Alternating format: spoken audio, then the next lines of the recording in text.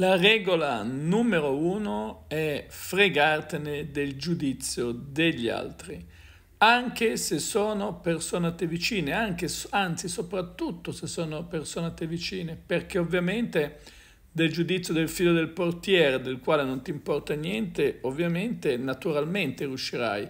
Però se ti giudicano persone vicine, e tu temi sto giudizio e cambi il tuo modo di essere, cambi il tuo modo di fare, non riuscirai mai ad essere felice. Sarai semplicemente un infelice perché vivrai la vita che gli altri vorranno importi. E quindi tu non riuscirai mai a raggiungere la tua serenità, la tua tranquillità, vivrai la vita di qualcun altro.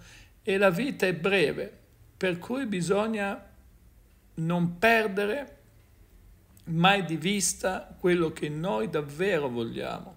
Fregatene del giudizio degli altri. È la regola numero uno per essere felice. Metti un like e con l'abbonamento base segui tutti i miei seminari. Ciao a tutti.